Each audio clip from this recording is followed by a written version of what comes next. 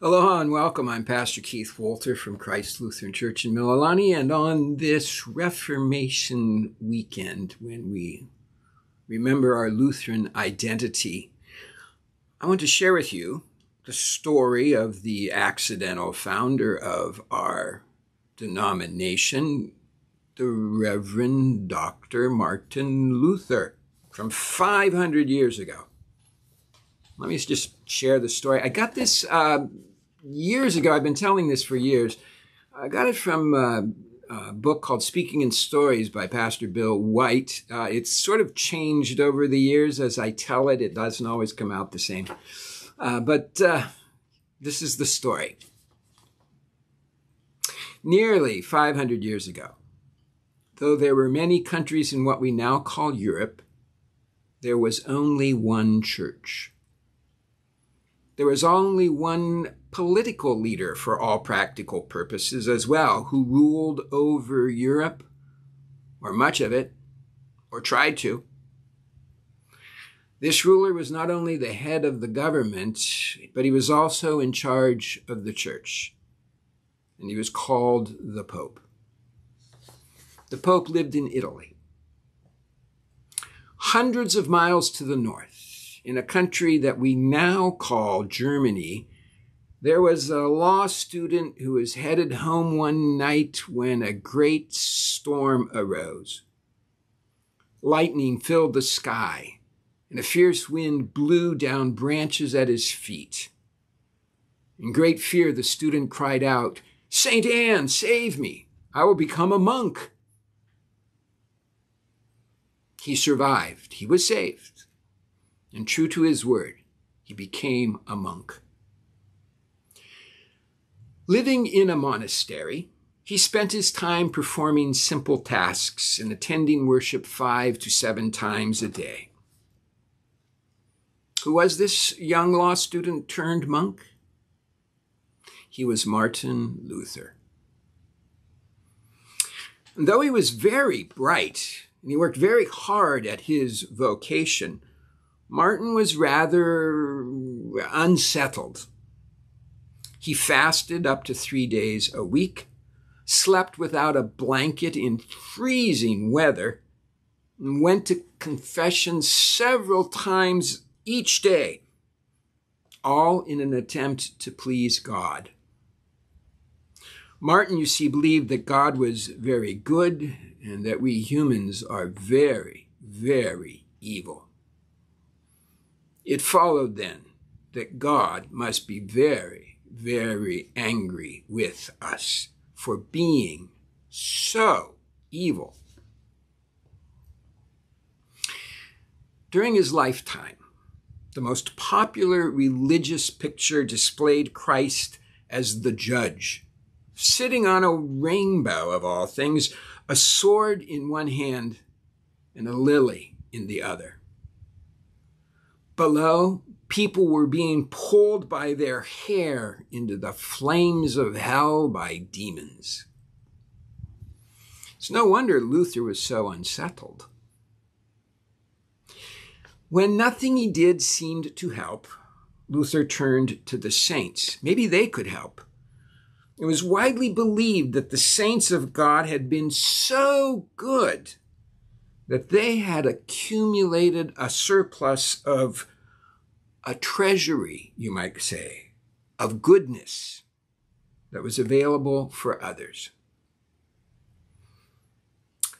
First, Martin looked to the Virgin Mary and her mother, St. Anne, the patron saint of Germany, the one he had prayed to originally, St. Anne, save me, I will become a monk they seemed to offer no assurance. Later, he was to discover that no human has extra goodness to give anyone else. He discovered that God alone can grant forgiveness. And, Luther discovered, God does. As he read the letters of Paul in the New Testament, he heard the words, the just shall live by grace alone, through faith alone. Sola gratia, sola fide in Latin. And as we often add, sola Christa, by grace alone, through faith alone, in Christ alone. Trust God, they seem to say, and his love will come to you. His love comes to you and creates the trust. We need not fret about pleasing God. God forgives us and loves us as we are. That is the story of the cross of Jesus. He dies because he loves us, just as we are. When Luther made this discovery, aha, he was living in Saxony, in the city of Wittenberg. Now, one day, a man by the name of Tetzel came to town to sell indulgences but I'm getting a little ahead of my story. Albert of Brandenburg wanted to be a bishop. Actually, was already a bishop of two other areas, but he desired to be a bishop of a third. The Pope was willing to make Albert bishop if Albert would give him 12,000 ducats, 12,000 pieces of gold. A thousand pieces, said His Holiness, for each of the twelve disciples. Albert countered, a more reasonable figure would be 7,000 ducats, 1,000 for each of the seven deadly sins. They settled on 10,000 gold pieces, a 1,000 gold pieces for each of the Ten Commandments. Problem was, Albert didn't have 10,000 ducats. The solution the Pope offered was to give Albert permission to sell indulgences. And this is important. Indulgences are pieces of paper that said your sins or the sins of your loved ones who had already predeceased you were forgiven buy an indulgence, and you were certain to go to heaven. Now, when Tetzel arrived in Wittenberg, where Luther was both a teacher and a pastor, pastor of the cathedral church, the drama began. Luther was irate. Privately, he ranted you can't do things like this. Money cannot buy the forgiveness of sins. On the eve of All Saints' Day, All Hallows Eve, or as we call it, Halloween, Luther marched to the Wittenberg Cathedral door, and there on that door, a door that served as the first internet, you might say, a community bulletin board, he nailed 95 theses, that is, 95 arguments or propositions for academic debate. People quickly copied the theses down and ran them off on a new device called a printing press. And we go from cathedral doors to printing presses to, well, you know. And you know what? With that printing press, the 95 theses were soon all over Germany and then spreading throughout Europe. The initial reaction was predictable. Albert was angry and the Pope was furious. Luther's purpose in posting these theses was to gain the opportunity to debate the indulgence issue. He soon got his wish with the finest debater in the church, Johann Eck. During the debate, Luther's opponent appealed to the authority of the Pope.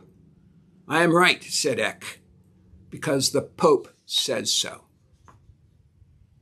Luther shouted back, Then the Pope is wrong. He is human and he can make mistakes. Only the Word of God, only the Bible can be trusted in matters of faith.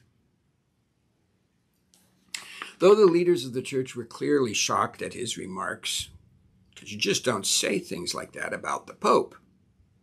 Luther quickly became a hero all over Germany. Some admired him simply because he was a peasant German priest standing up to an elite Italian pope. Others were tired of German money going out of the country, while others simply believed that his calls for reform of the church were greatly overdue. And finally, Many understood the overwhelming grace of God that came now, as always, through the cross of Christ. A few years later, in 1521, in the city of Worms, at the Diet of Worms, Luther was ordered by his church to recant, to take back what he had said and all that he had written or be banned from the church. And he answered in words now that are very famous. My conscience is captive to the word of God. I will not take back anything, for to do so is to go against conscience, and that is neither safe nor sane. Therefore, I cannot, I will not recant. God help me, I can do nothing else. Here I stand. Amen.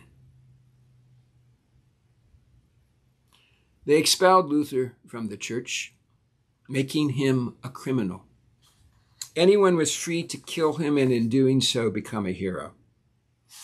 On his way home from the trial, he was kidnapped by a group of hooded men on horseback. Most people believed he had been killed. The men, however, were friendly. They had come to make certain that Luther was safe. They took him to the Wartburg castle to live until things settled down. While he lived at the Wartburg, Martin translated the Bible into German for the first time. Now, Martin Luther had no desire to split the church, but it did split. He had always hoped that the church would change, reform, People thus called this period of time the Reformation. And those who followed him, who, who protested against the errors of the church, were called Protestants or Protestants. During the early years following Luther's excommunication, changes did take place. Worship changed from Latin into German, and a great emphasis on congregational singing developed using German folk tunes. The sacraments were reduced from seven to two baptism and Holy Communion. And people at communion were allowed to have both bread and wine rather than just the bread. Throughout the rest of his life, Luther wrote hymns, teaching materials such as the Small Catechism, and in general shaped the church for hundreds of years to come. A few years back now, Time magazine, in a cover story on Martin Luther, declared that three men since the first century had changed the way that the world thinks Jesus, Karl Marx, and Martin Luther however one counts. Luther is one of the great figures of history and one of the great figures of faith. He has certainly had an impact on my faith. He has changed the way I think, feel, and see the world. We are justified before God by grace alone, through faith alone, in Christ alone. It is a gift of God not of our own doing. Gott sei Dank, mahalo nui loa ke akua. Thanks be to God. Amen.